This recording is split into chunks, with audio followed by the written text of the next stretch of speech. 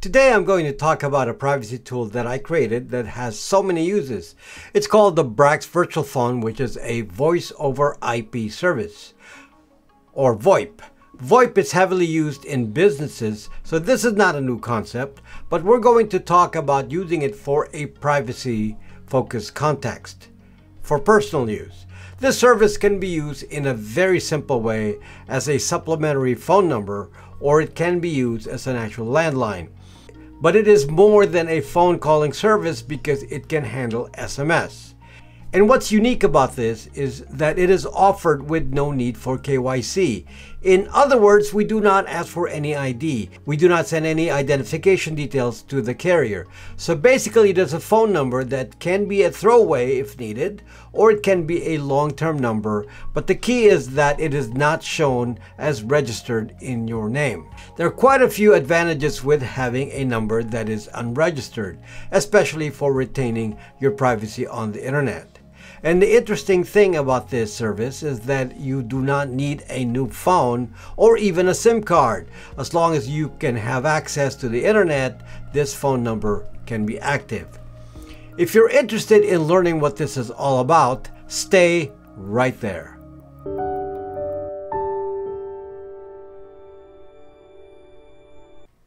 I created the Brax Virtual Phone Service about a year ago now. In fact, it was launched on March 1, 2024, and I watched this service grow slowly in popularity. It's not an easy concept to grasp, but it is now catching on. Brax Virtual Phone, as I said, is a VoIP number that includes SMS. I had to create this product because I was constantly searching for solutions to the phone privacy problem and I couldn't find one that did the job. For one, an alternate phone solution needs to have SMS or texting, otherwise it can't be used to handle two-factor authentication. Next, it had to be established without KYC or no ID. This was such a big issue, and I found that none of the big players who do this had a solution to the KYC problem. All of them required KYC. Then the biggest deal was cost. Most VoIP services are made for businesses and are typically quite expensive. I had to come up with a product for the very specific privacy use cases that my followers have at a cost that was cheaper than getting a SIM card. This solution is cheaper than even residential VoIP solutions like Ooma or MagicJack, both of which don't even offer SMS. It is way, way cheaper than RingCentral or Vonage. As of right now, I have not been able to find a service that is cheaper than what we offer, which is a base service of $60 per year for a phone number. Unfortunately, we're offering this service in the US and Canada only. I can offer no KYC numbers in other countries if the demand is there, but there will be no SMS, unfortunately. But now, before I explain how to use this in detail, let's first restate the privacy problem.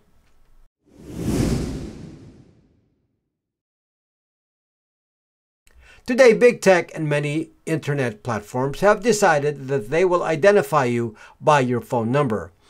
As I explained in my last video, this is actually a sneaky attempt at requiring you to show ID whenever you use the internet. All through the subtle technique of requiring your phone number for two-factor authentication. If you give your phone number to a platform, then you can presume that they will know who you are exactly through various ways of finding out who owns a phone number. One is through contact lists that they extract from users, matching multiple accounts with phone numbers, and then searching through public databases like credit reports. And of course, governments have full access to the KYC information when you show ID to the carrier to obtain phone service, and this is shared through the well-publicized PRISM surveillance program. I discussed this in detail in last week's video on KYC. Brax Virtual Phone is actually a pretty broad solution. It can support a lot of privacy related objectives and there is not a one size fits all. So what I will do today is to explain the different uses of this product.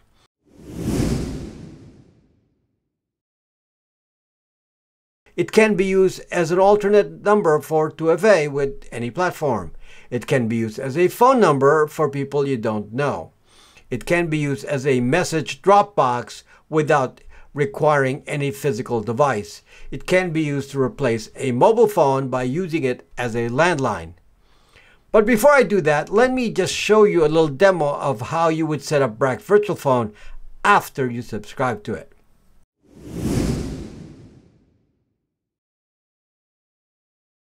After you purchase the subscription from the store, you will need to go to My Services, and there you should see the option My Virtual Phone Service. And when you click on that, it will show all your virtual phone subscriptions. You can have multiple phone subscriptions, one per line. Here I only have one. When I click on that, it will now guide me through the process of provisioning a phone number. And that's the objective here initially, to pick a phone number. The very first thing I need to do is to select a state. There's no reason to just limit yourself to the state you're currently in. The system is agnostic to this and you can choose whatever you want. In this example, I will choose Arizona and continue. The next step is to narrow the choice down to a rate center. A rate center will then establish the area code and prefix of the number. So I will just pick one here, which is Globe, Arizona. Next, I now get a choice of phone numbers, and I will pick one from the list. Just a warning here that in some small towns, there may not be SMS coverage. If so, there will be a no SMS warning next to the phone number. Then I get a final choice to go ahead with provisioning. Once provisioning is complete, you will automatically be shown the setup page for the phone number. By the way, before you leave this page, you must hit the Save button since some of the computed parameters here are not yet permanent. If you forget to do that and hit Cancel, just come back to this again and hit Save. Next time you select the subscription from my virtual phone service, you will go directly to this setup page. This has your basic credentials and shows your plan and current usage. For many users, especially if you have another device, you can focus on the call failover options as well as the SMS options. As one of the simpler options, you can just forward your calls to another phone number. This can be used to keep your main phone number secret, but you will still get the calls on your normal phone. You can do the same with SMS. You can forward your text from this new number to your main phone. This way you now have a private way of getting phone calls and SMS easily from internet platforms and people you don't know. If you use this feature, you don't even need to do anything else and you can just hand out your secret phone number to whoever you want. This is really useful for the rare communications for 2FA or one-way calls where you don't have to call back. By the way, if you don't answer the phone, the call will go to voicemail. And here's the interesting part. We can forward your voicemail directly to your email so you don't even need any extra device. It's the same with your SMS. The SMS can be forwarded to email as well. This method allows you to have a Dropbox of communications without needing a device since you can just get all your messages via email. I will show you this later. To read text messages in real time and respond to text, we give you a way to do that directly on BraxMe with the option called My SMS. This will appear on your app after you subscribe.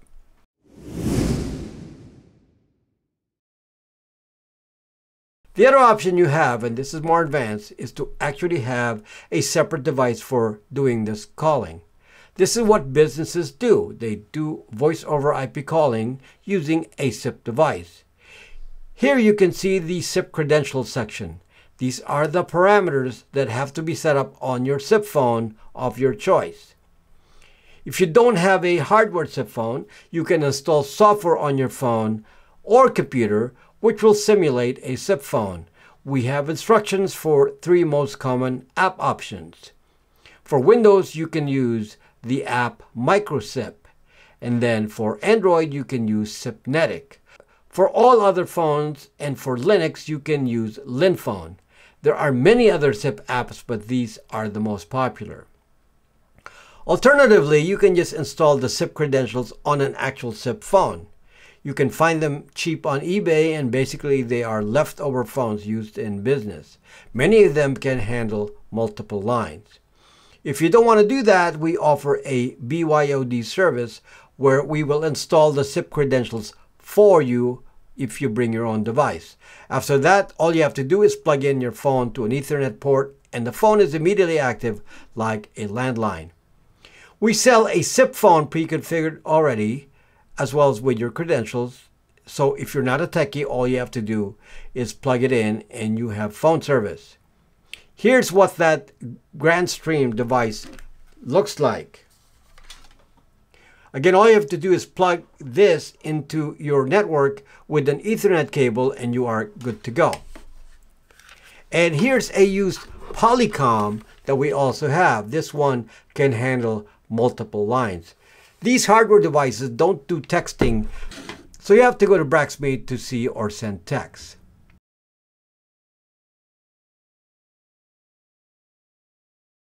Now let me show you my SMS, which is shown on the Braxme menu. Here it shows the new phone number we have, and if I have multiple numbers, it will show as well. I already have a sample text message here, but we'll create a new one. When I hit that plus sign, I can now compose a new message and it lets me just fill in the phone number and the name and the message.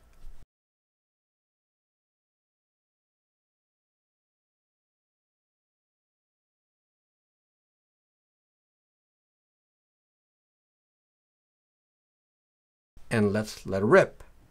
Once you put a name on the contact, it will add it to the SMS contact list so future conversations will show the contact name. A moment later, you can see the response and you can see that it's working.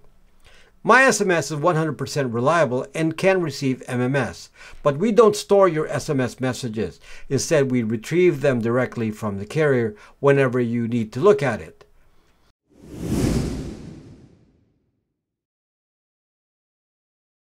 Now that you see my Brax virtual phone in operation, let me talk about the various ways this can be used. The main use, of course, is to hide your phone number. But you'll need to plan out when you can hide your phone number and when you cannot.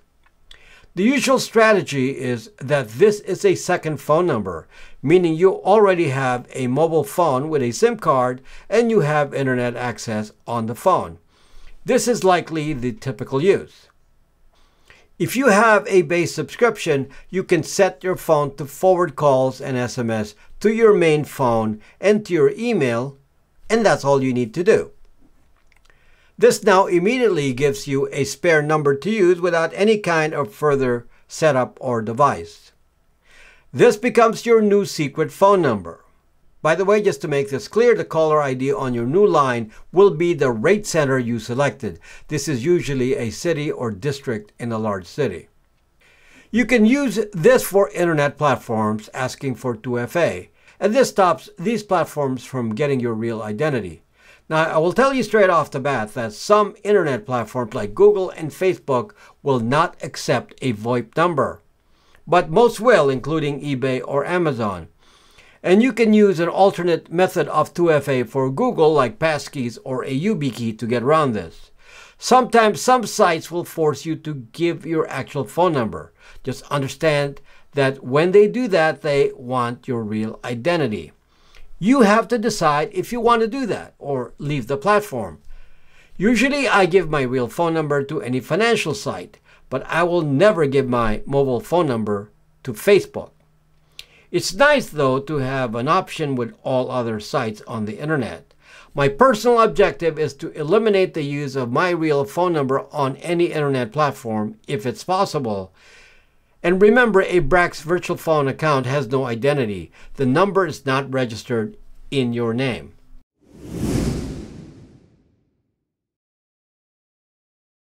The neat thing about having an additional phone number is that you can give it to people you don't know.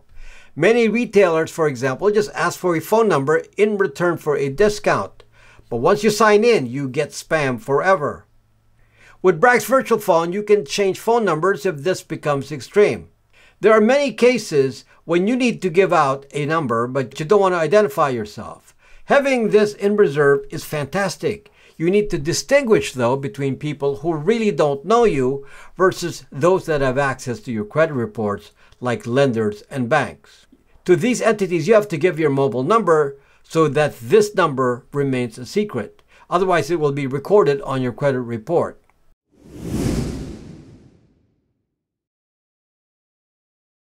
The truly reliable use of a Brax virtual phone is as a landline, particularly if you have a SIP hardware phone. Just use it like any normal landline. The Grandstream option I showed earlier even has a wireless handset, so you can walk around your house with it. You cannot forward calls and have a landline, by the way. It's an either or because only one device will ring. SIP phones are used by most businesses, so this is a very robust solution. It's just a change of use to a residential option.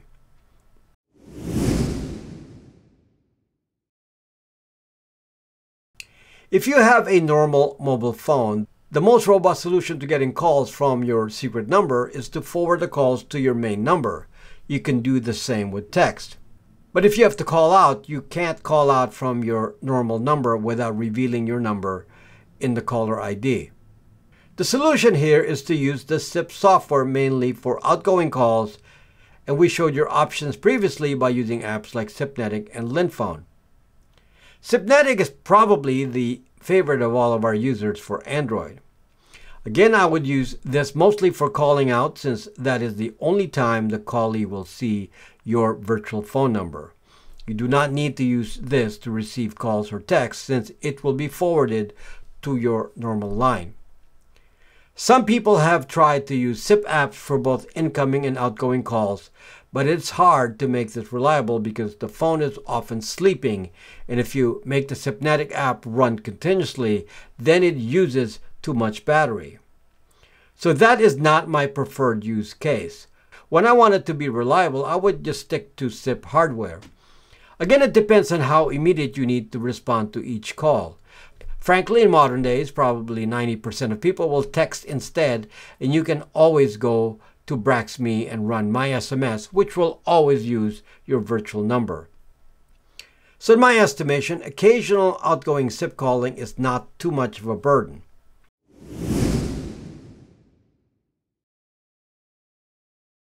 There are more advanced use cases for using a virtual phone, and this usually means using several virtual phone numbers. And I discussed this in a past video for a really private solution. And I will put that video in the description so you can refer to it. Another possibility, which is not as reliable, is to use a data SIM card and only do SIP 100% of the time on mobile. Again, this is not a robust solution, but it is obviously more private since there will not be any phone traffic using a line registered to your name. Internet traffic does not cross the public switch telephone network, or PSTN. You will not miss messages since you can always receive voicemail and SMS via emails. However, like I said, I never found ringing to be 100% perfect. So this is not good when you really have to answer the phone, like for a business. Hopefully you now know how to utilize this amazing privacy tool and I can't tell you how many times I felt lucky to have a secret phone number in many unexpected situations. Folks, as many of you know, this channel is supported solely by this community and the Brax virtual phone service which we offer is actually on my site, BraxMe. We also have a really popular project, which is the Brax 3 phone, and this is currently on Indiegogo and is set for delivery in March 2025. We have other services that are focused on enhancing your privacy, such as our BytzVPN service. We also have the Braxmail service, so you can stop Gmail from stealing your data. Again, these products and many more are on our BraxMe site. Join the over 100,000 users on that site that discuss privacy issues daily. Thank you also for supporting us on Patreon, Locals, and YouTube memberships. And as a reminder, I do a regular live stream on Thursdays at 8 p.m. Pacific time on the platform Rumble and locals.com. See you next time.